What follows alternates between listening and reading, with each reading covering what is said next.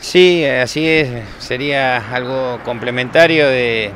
bueno, de todo este tema que está sucediendo con el tema noche, a partir de los acontecimientos que, sucedieron la semana pasada.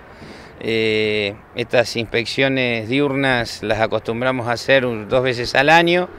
eh, a junio, julio y diciembre, bueno, pero los acontecimientos, ya que esta suspensión provisoria de, las fiestas eh, en, salones particulares está vigente, sabemos que la afluencia capaz de chicos a estos lugares va a ser superior a la que venía, así que por prevención eh, estamos haciendo la prueba de, las distintas puertas de emergencia, hidrantes,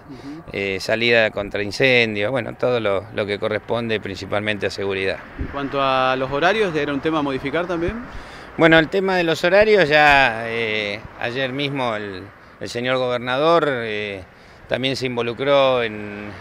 lo que corresponde a esta modificación, dijo que, era, que había que hacer algo en conjunto, estamos totalmente de acuerdo. Eh, digamos, celebramos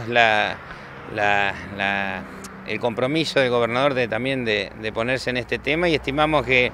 eh, el intendente ya ha hablado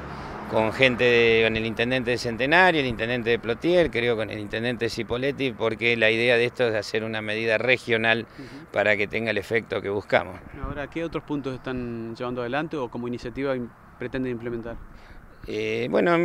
lo, principal son los protocolos de seguridad. Yo creo que eh, los horarios de los boliches es un tema a discutir. Seguramente eh, habrá voces a favor y en contra, pero a mi entender creo que hoy lo que más necesitamos es en este nuevo escenario del alcohol y droga, ver de qué manera podemos cuidar a los chicos.